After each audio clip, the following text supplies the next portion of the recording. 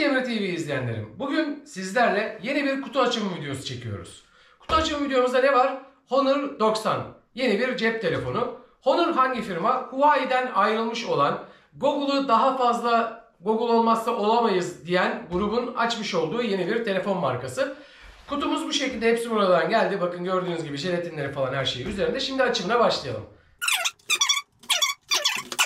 Kutumuzu açtığımız zaman şu şekilde bana AirBud X5 diye adlandırılan, bakın gördüğünüz gibi AirBuds X5 yazan Bluetooth kulaklık, hop bunu kaydırdım. Bir de yanında Honor 90 diye geçen cep telefonumuz var. Şimdi hemen Honor 90 cep telefonumuzu açalım. Bakın gördüğünüz gibi bakın şu şekilde geliyor. Altında, yanında veya herhangi bir yerinde bir e, jelatin yok. Yani bu kutu daha önceden açıldı mı açılmadı mı diye e, diğer markalarda mesela bu Gempa distribütörününmüş. E, diğer markalarda burada sticker oluyor. Yani kutuyu açtığınız anda yırtılmış oluyor ve bir daha bu ürünün açıldığı belli oluyor. Bu ürün bu şekilde gelmiyor. Nasıl geliyor? Görmüş olduğunuz gibi poşeti içerisinde geliyor. E, bu poşet komple kapalı bir poşet.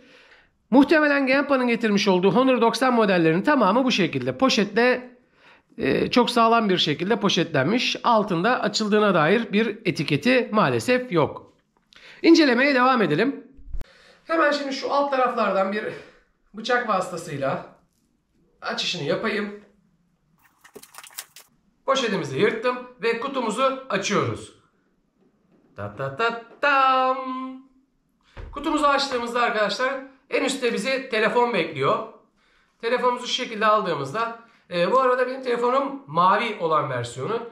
Yalnız çok bir maviliği yok. Gördüğünüz gibi böyle bayağı bir açık. Zümrüt yeşilini daha çok andırıyor. Ama mavi olan versiyonunu seçtim ben. Bakalım kutunun içerisinden başka neler çıkıyor.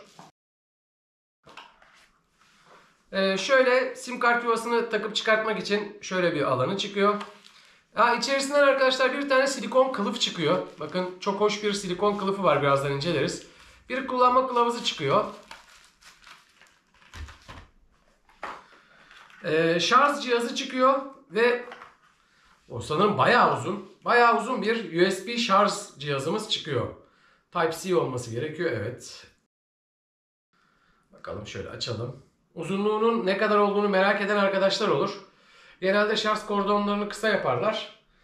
Ee, bunun uzunluğu arkadaşlar yani şöyle baktığımız zaman tam tam 1 metre gibi duruyor. Yani 1 metre uzunluğunda bir şarj cihazı kablosu veriyor. Şöyle de bir 66 wattlık şarj cihazı geliyor yanında. Ee, adaptör bayağı büyük arkadaşlar. Bayağı da ağır. Ağırlığını şu an ölçemiyorum ama bildiğiniz ağır yani. Telefonun ağırlığı kadar bir ağırlığı var diyebilirim batarya için. Ee, telefondan daha ağır diyebilirim. Evet. Telefonun ağırlığından çok daha ağır diyebilirim şu an bu şarj aleti için.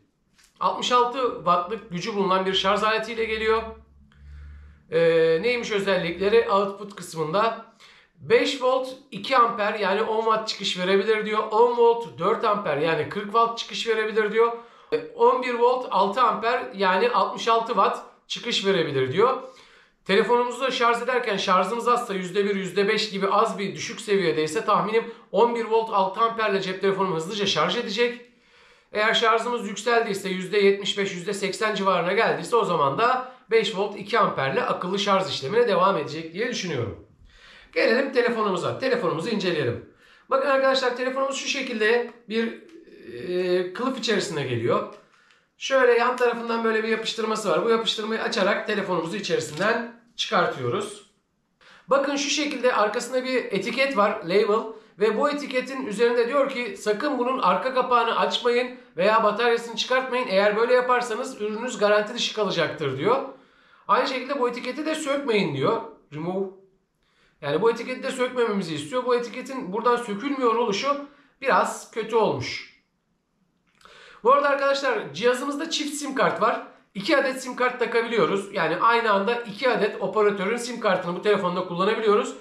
Peki 3. operatörün sim kartını bu cihazda kullanamaz mıyız? Tabii ki kullanabiliriz. 3. operatörün cihazını eSIM olarak tanımlamamız gerekiyor. Yani nasıl? Örneğin Vodafone sim kartımız var. Sim kartını birinci sim karta taktık. Türk Telekom sim kartımız var. Türk Telekom sim kartını da ikinci sim karta taktık.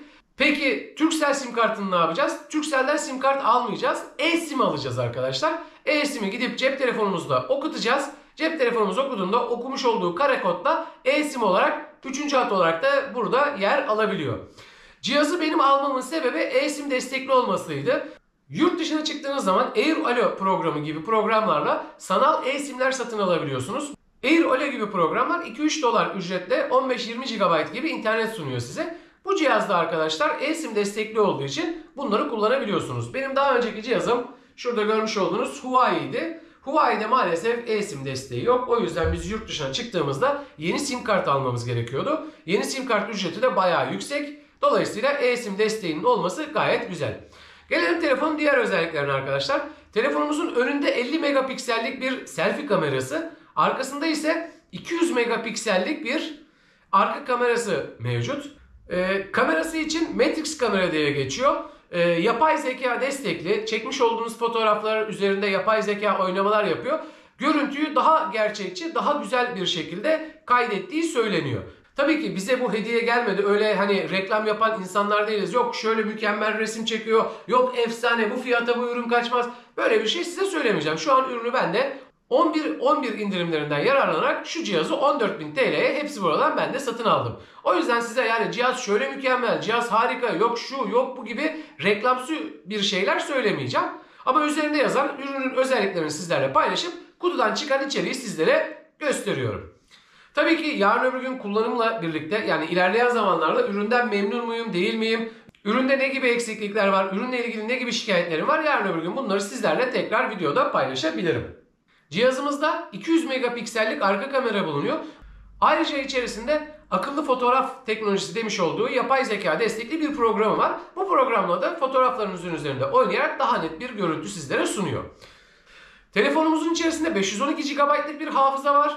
Aynı şekilde 12 GB bir RAM var. Yani şu an piyasada bulunan telefonların birçoğuna göre çok çok üst bir telefon. 512 GB'lık bir hafızası olması gayet güzel. Çok sayıda fotoğraf ve video kaydedebiliyoruz. Aynı şekilde 12 GB'lık RAM oluşu telefonun donmasını kasmasını daha aza indiriyor. Şu an mesela benim elimde kullanmış olduğum Huawei cihazımda 2 GB'lık bir RAM var. 12 GB'lık bir RAM var. Arada baya bir fark var.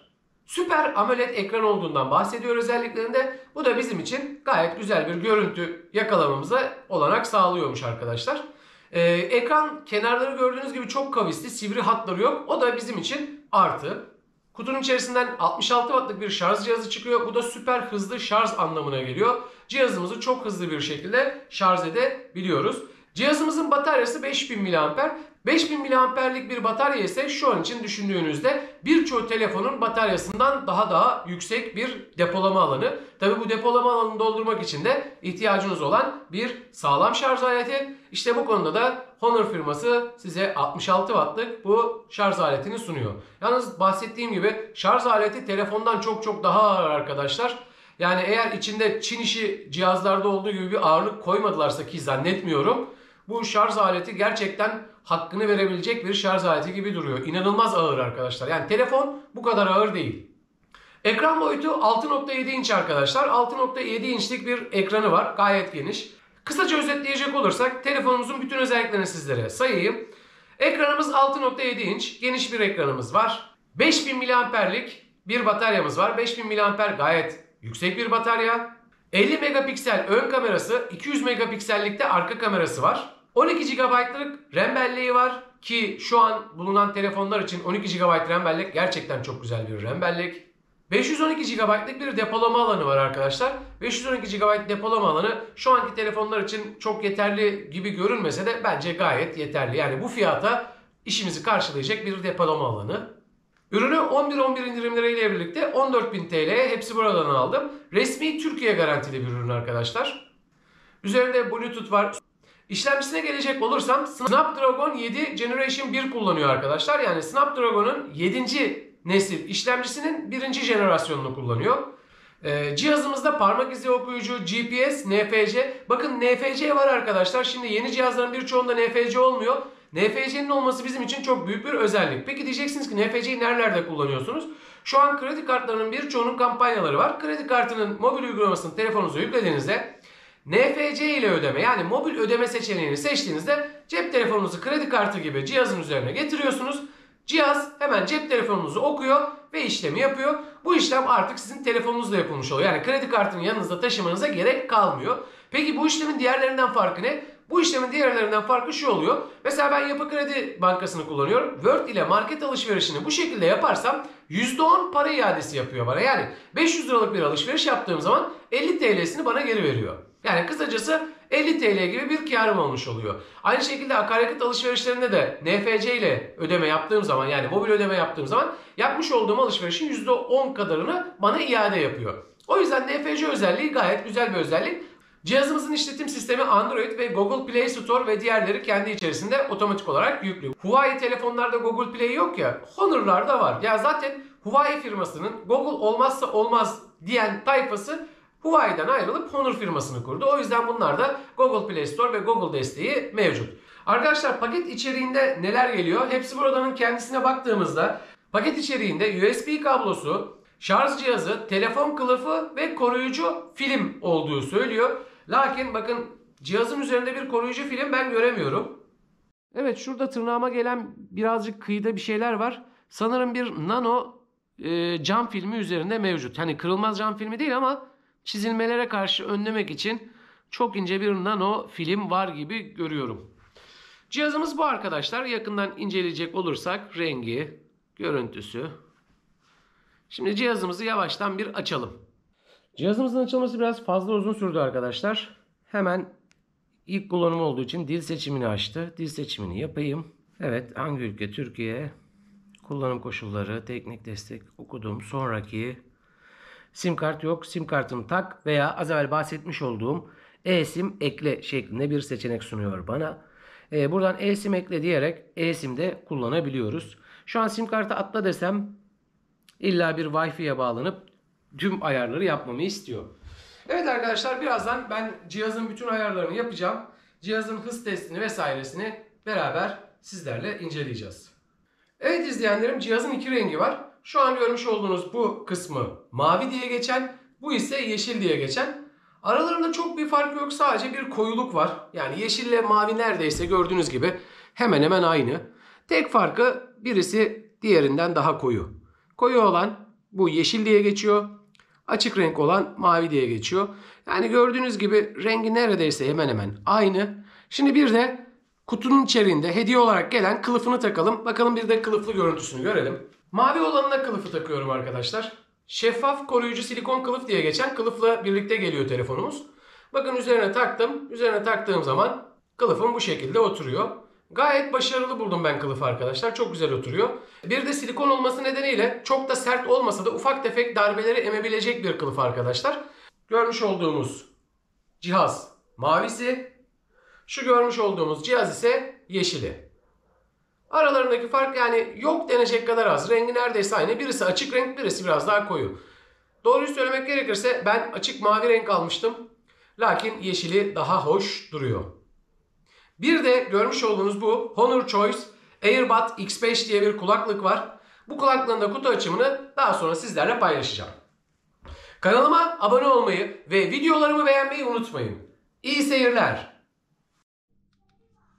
Evet cihazımızı şarja taktık. Şarja takalı daha 5 dakika oldu.